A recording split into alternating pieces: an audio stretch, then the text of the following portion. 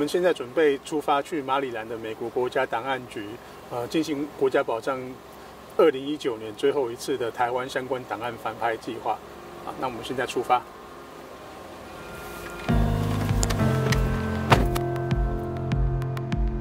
历史，我觉得就是，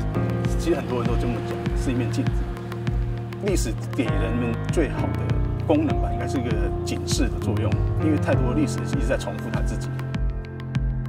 名字是庄世杰，我是在二零一六年和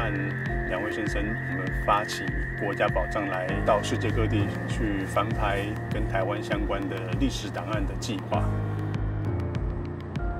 翻拍自工团出发的时候要花四个半小时左右的车程，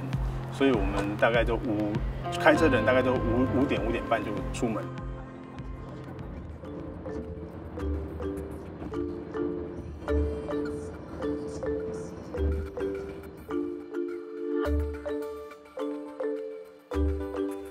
国家级的保障就是跟以我们台湾来说，就是台湾相关的历史文件档案。那这些档案文件可能很多时候不是在呃台湾可以看到。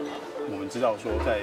海外其他国家的政府机构可能有相关的收藏。那我们觉得这些东西对台湾人想要对过去历史的了解，我们觉得这是非常珍贵的东西。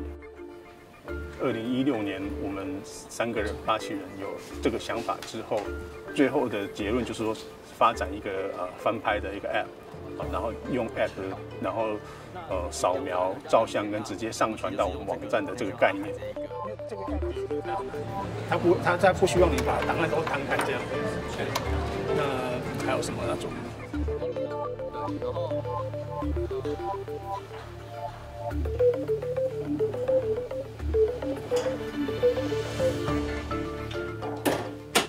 从一开始到现在已经三年，那我们基本上是一个月一次来翻拍团，每一次有时候人少四五个人，有时候人多十来个、十五个这样，加加种种，大概也已经有两百个人次来翻拍这样。我们最兴奋就是真的这些照片，因为照片是最直接的视觉的哦，而且是可以看到过去可能几十年以前的一些台湾的现象啊，所以这个如果是这样，我们会感觉好像挖到宝一样。那我们曾经拍到一份档案，是大概一九五零年代还，是六零年代左右，美军跟原住民的头目啊合照啊，然后介绍当地的不同一些文化、他们的习俗还有服装。那有趣的是什么？我们在我们的脸书分享这个档案的时候，没多久马上就有人说：“哎，这个是我姑姑。”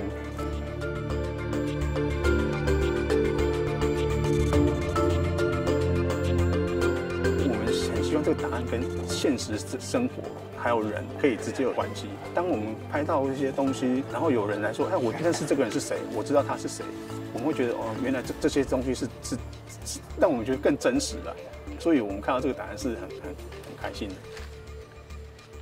历史以台湾来讲，跟台湾人自我定位非常重要，因为台湾它在四百多年来一直被殖民的过程，其实对自己的定位不是很清楚，可能有点混淆。现在台湾人